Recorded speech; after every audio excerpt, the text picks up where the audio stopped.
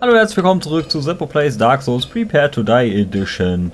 Ja, was haben wir in der letzten Episode gemacht? Wir haben ähm, so einen Gargoyle bekämpft, beziehungsweise zwei. Und mitten während des Kampfs hat er so eine Axt gedroppt und ich habe mich mega gewundert, was da los war.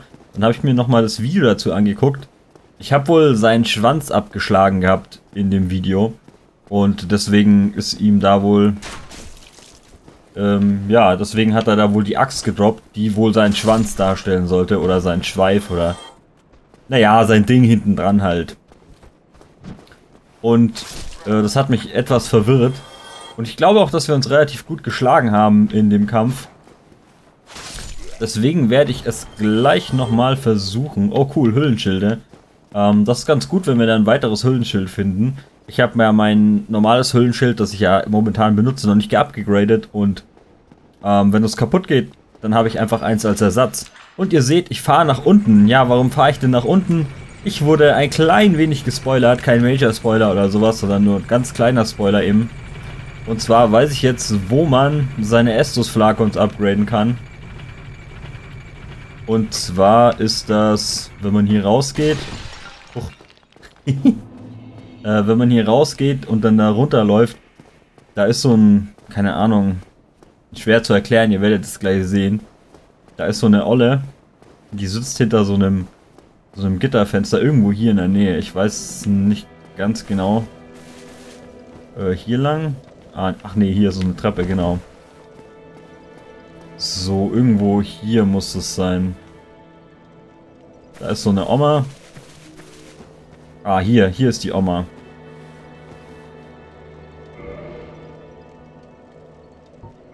Keine Antwort, sie kann nicht sprechen. Aber hier kann man seinen Estus-Flakon verstärken. Ähm, und das ist, glaube ich, eine gute Sache. So, das habe ich einen Estus Flakon plus 1. Das heißt, der heilt, glaube ich, mehr Leben auf. Was steht denn hier? Guck nur mal ganz kurz, was, ob hier noch irgendwie was versteckt ist oder so. Dann gehe ich zurück zu meinen Gargoyles.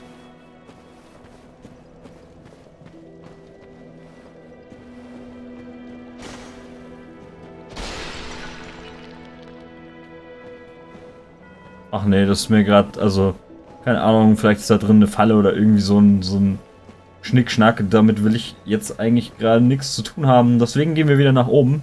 So, und dann gibt es noch eine kleine Sache, die ich, ähm, ja, wo ich äh, etwas gespoilert worden bin, leider, so ein klein wenig. Aber es ist auch keine große Sache, was ich zumindest so mitbekommen habe. Und zwar, wenn man mit diesem Typen hier nochmal redet. Äh, mit diesem Typen, der hier stehen müsste, genau. Dann... Oh my. Oh, I have to await my companion. So what if I were to teach you? Would that please dann kann man Very hier well. das annehmen. Then first, a covenant with the gods. Und jetzt bietet ihr mir an, einen Eid zu leisten und ich mache einfach mal ja. Ich weiß nicht genau, was das macht. Ja, ich Now let me share my miracles. Only their ultimate effectiveness will be determined by your efforts and your faith. Okay, also ich habe jetzt hier ein Eid geleistet. Und wenn man diesen Eid eben leistet, dann kann man hier, wenn man rausgeht, Start, Status anzeigen, dann habe ich jetzt den Eid, der weiße Pfad. Der Name des geleisteten Eids, ja, aber was macht der Eid? Das weiß ich nicht. Das ist so ein klein wenig ein Problem, aber man kann hier ein Eid leisten und ich dachte mir, ja, warum denn nicht? So, und äh, jetzt oh, kann man hier auch bei dem Typen Gegenstände kaufen. So, dann gucken wir doch mal, was wir hier kaufen könnten. Einen Talisman und einen Torolund-Talisman. Keine Ahnung, interessiert mich alles nicht sehr. Also okay, was haben wir hier? Auszug aus großer Heilung. Ähm, ich glaube, sind es Zauber? Sind es Heilzauber? Ich glaube, wir können hier Heilzauber kaufen, also vor allem. So, Isrash fügt keinen Schaden zu, wirft Feinde aber zurück und verteidigt gegen Pfeile. Okay, und was kann das hier? Ähm...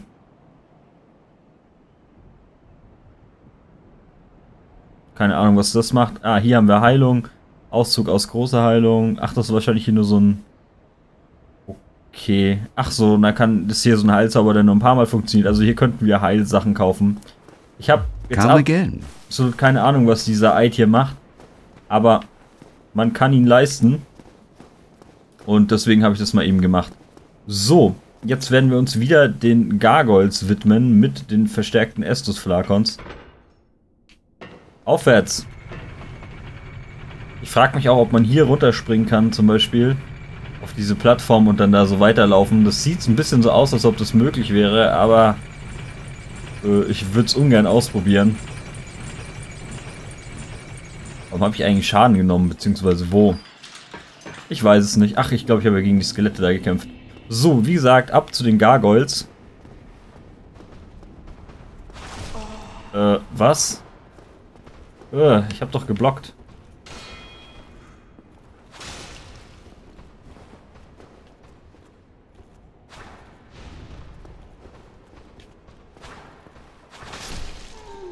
So, und damit haben wir ihn getötet.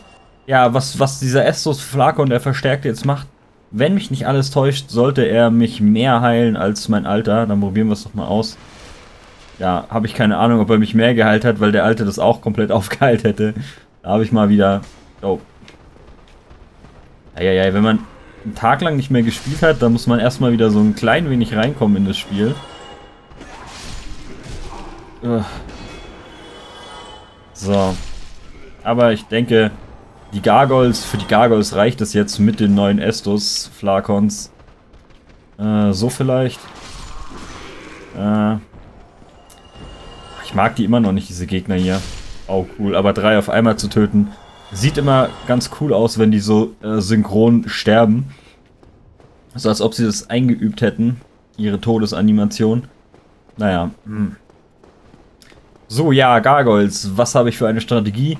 Ich weiß übrigens, also ich habe ja den, den Schwanz abgehackt und dafür ein Item bekommen. Ähm, es wäre natürlich jetzt mega cool, wenn die einfach den Schwanz nicht mehr, wenn er einfach nicht mehr nachwachsen würde. Aber ich glaube, so viel Glück habe ich leider nicht. ich nehme an, dass die wieder in voller Montur da sind, wenn ich da durch den Nebel schreite. Äh, oder? Ja, der hat wieder sein Schwa... Das hat er mal wieder super angefangen.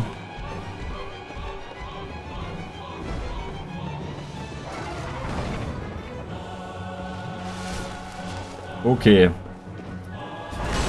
Okay, das war ganz gut. Ah, schade, daneben. Jetzt kann ich aber... Der war ganz okay. Der war sogar von hinten. Das macht ja immer mehr Schaden gegen die Gegner. Weg, weg. Oh. Er hat so einen weiten Schwung auch immer. Okay, und der andere Gargoyle, der scheint nicht nach Zeit zu triggern, sondern immer, wenn die nur wenn er nur noch halbes Leben hat, der hier.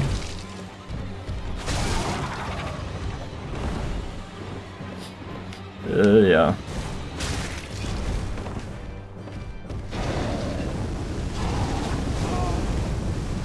Äh, ja, und da bin ich verbrannt. Aber ich denke, wir haben uns ganz gut geschlagen für den ersten Versuch gegen die Gargoyles. Die Glocken-Gargoyles natürlich. Ähm, das ist auch verdammt fies dann irgendwie, wenn dann zwei auf einmal kämpfen. Ähm, das wird, also gegen einen kann man ja einiges reißen, gegen zwei fühle ich mich immer so, als ob ich nicht so wirklich äh, gute Chancen hätte. Naja. So, jetzt müssen wir erstmal natürlich wieder die Skelette töten und dann den, äh, den einen etwas stärkeren Krieger und dann die ganzen anderen Typen, bis wir da wieder hinkommen. Das ist so ein bisschen, ein bisschen ärgerlich, dass man ja immer noch ähm, Gegner auf seinem Weg hat zu den Bossen. Ähm, und dass man halt nie direkt vor den Bossen speichern kann. Und dann halt deswegen immer irgendwie so kleinere Laufwege hat. Aber mein Gott, das muss man in Kauf nehmen. Ähm, man, wenn man besser spielen würde, dann hätte man halt überhaupt kaum Laufwege wegen den ganzen coolen Shortcuts.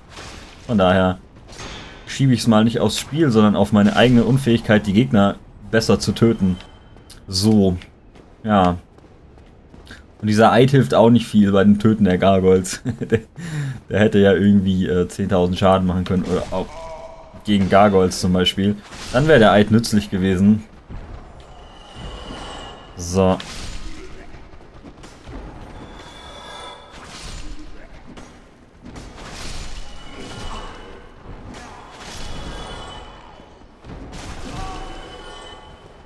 Schlimm. Wie viel Schaden ich hier genommen habe. Hä? Habe ich gerade Schaden genommen, weil ich die getötet habe oder so? Ich weiß es nicht. Ich habe mir zumindest eingebildet, dass ich irgendwie Schaden genommen habe, obwohl der mich nicht getroffen hat gerade. Seltsam alles. Naja, ich werde auf jeden Fall einen Estus trinken, bevor wir da, bevor wir nochmal uns mit den Gargoyles anlegen. Und ich glaube, ich werde mich noch öfter mit den Gargoyles anlegen dürfen. So. Ja, da sind wir fast aufgeheilt. Also so ein Estus halt jetzt schon ähm, die Hälfte meiner Lebensbar.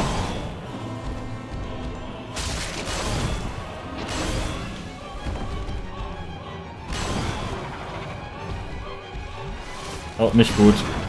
Ah, aber er hat daneben geklopft. Oh, Volltreffer von ihm. Und ich habe natürlich daneben gehauen.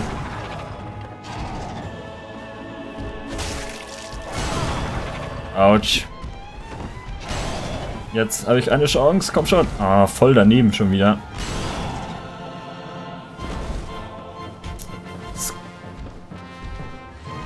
Oh, oh, nicht gut. Oh, er hat daneben gehauen. Jetzt, komm schon, gib ihm Saures. Ah, ja, toll, jetzt sind es zwei. Na, wunderbar. Jetzt beginnt der Spaß erst. Autsch. Den hat er davor auch noch nie gemacht. Wünschte, die könnten sich auch gegenseitig schädigen. Aber das ist wohl zu viel Wunschdenken.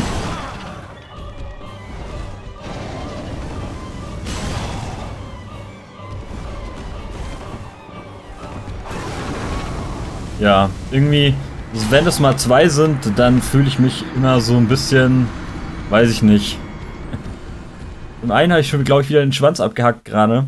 Aber ich weiß gar nicht, ob der zweite überhaupt mit Schwanz spawnt oder sowas. Ähm, der hat ja auch nur halbes Leben. Immer. Deswegen, ich weiß es nicht genau. Jedenfalls kann ich es noch bestimmt ein, zwei, drei Mal versuchen in, dieser, in diesem Part hier.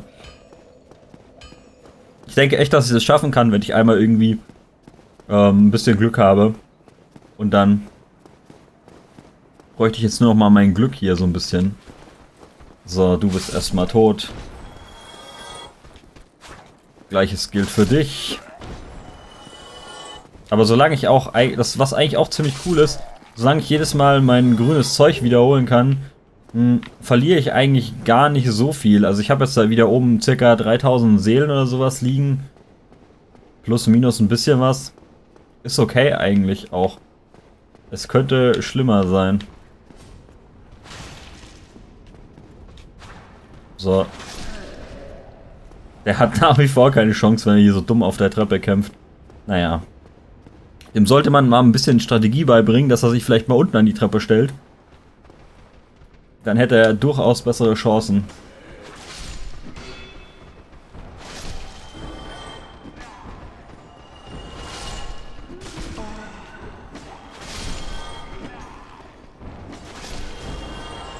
Ja, bei denen ist halt nach wie vor eigentlich nur man sollte sich nicht so oft treffen lassen. das ist ein guter Tipp, ne?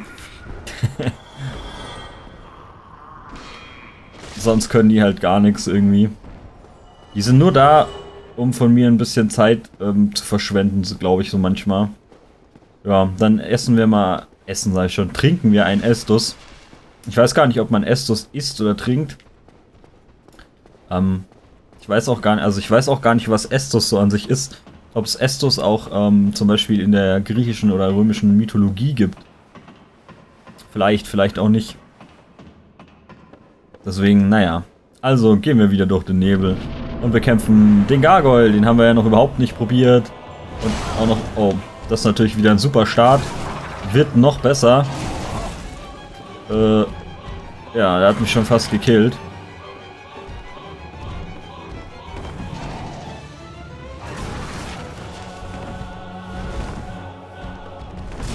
Und vor allem habe ich auch noch nicht mein Zeug zurück, was extrem bitter wäre. Äh, eigentlich habe ich Das wollte ich nicht. Das wollte ich auch nicht. Äh, äh, bitte töte mich nicht. Ja, lass mich zumindest mein grünes Zeug holen.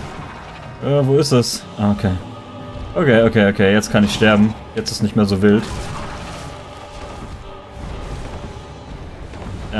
Aber es wäre trotzdem nicht gut. Weg, weg. Oh nein. Äh, ich wusste, dass er mich voll keine erwischen wird. Das gibt's halt gar nicht. Ich kann, ich komme halt auch nie irgendwie dazu, meinen Estus mal zu trinken. Okay, jetzt kann ich mal zustechen auch.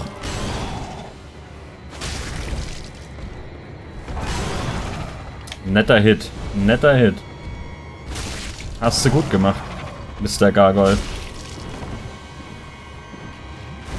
Jetzt kämpfen wir wieder gegen zwei.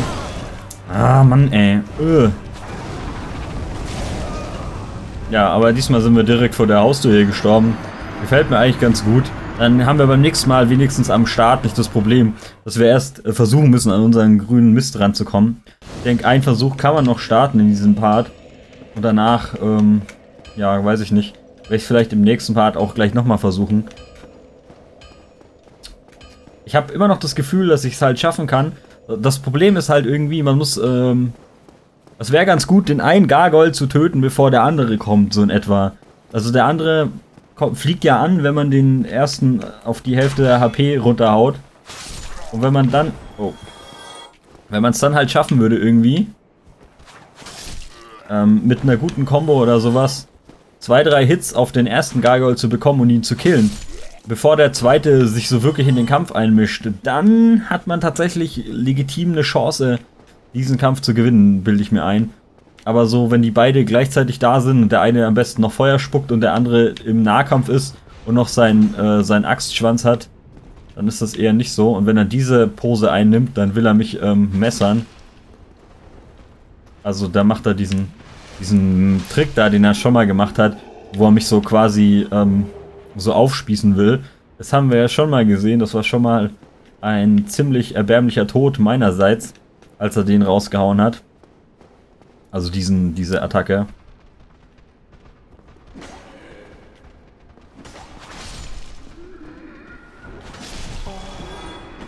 Ach, die sind nach wie vor einfach nur nervig.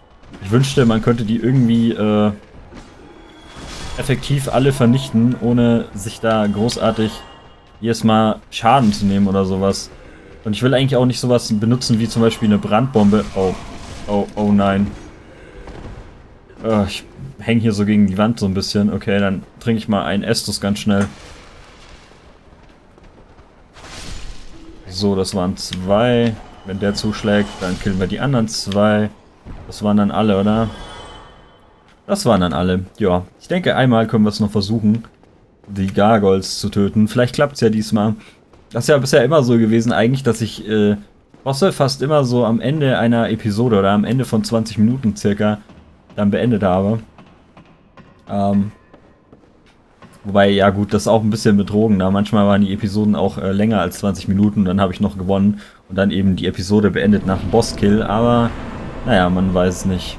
So, da drüben bin ich also gestorben. So, erstmal anvisieren, gut. Ähm, daneben.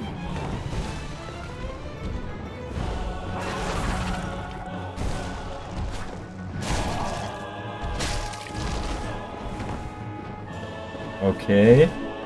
Ja, bisher der Anfang war okay. Kann, kann natürlich besser sein, aber... Oh, cool.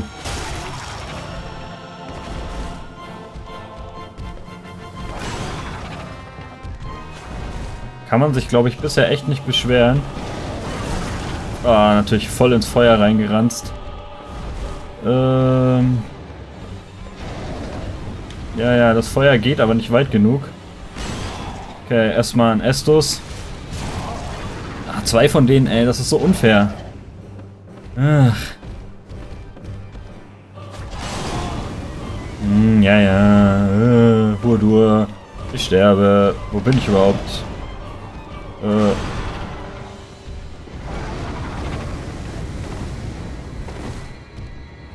Ach, ich bin hier hinten schon auf dieser Brüstung. Ja, ich sollte hier weggehen. Ah. Ich habe auch gerade den falschen anvisiert.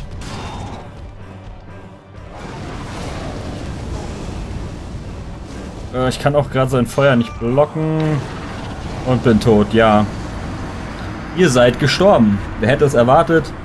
Ich hätte es erwartet. Wir haben wieder 5000 Seelen, die wahrscheinlich bald weg sind, weil unsere Leiche im schlechtesten Spot der Welt liegt. Aber ich werde es auf jeden Fall weiter versuchen und zwar in der nächsten Episode. Ich hoffe, ihr hattet Spaß, mich beim Leiden anzugucken, wie ich gegen die Gargoyles versage. Und in der nächsten Episode wird es dann hoffentlich etwas besser.